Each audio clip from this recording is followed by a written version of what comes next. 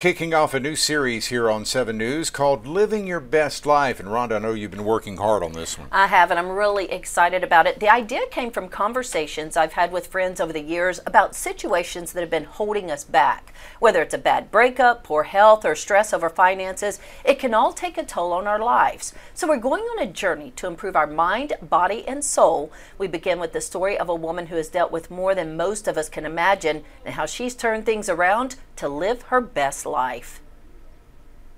Baggage. The longer you live, the more you have. And for some, like Michele Trahan, they've been carrying it around since childhood. I had a horrible childhood. My dad beat my mom pretty much every day. He shot my mom. It was it was bad.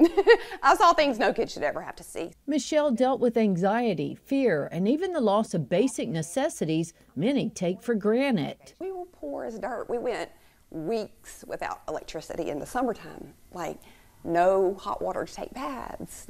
We had one meal a day. There was no food in the pantry. And the pain of her past was threatening her future.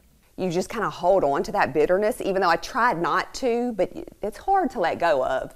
And I think I kind of took that out on Eric, and I know I did. I, I honestly know I did. Michele says it wasn't just her husband Eric that was being affected. Even as a parent, she felt like she was living a shell of her life. But I can remember looking at videos when they were young and thinking, God. Michele says it wasn't until she got a literal sign that she knew something needed to change. And I know I was probably just this bitter person. And one day I was like, you know, just driving thinking, and I saw a sign at a church and it said, Those who anger you control you. And my, I'm telling you, my life changed right then and there.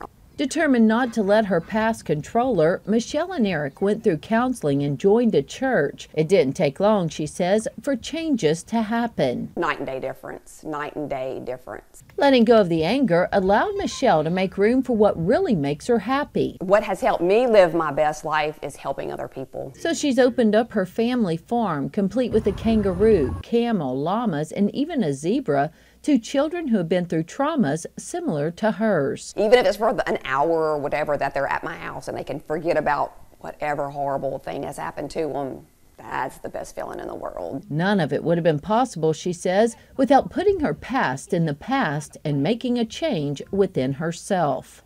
I try not to hold on to the grudges of people in the past. You just kind of, you got to let it go.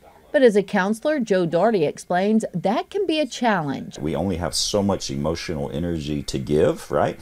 And if I'm holding on to this stuff, at least partially in my past, then I'm not fully engaged in my present. I need both hands involved in my present and holding on to the present people and the places and the things that I love.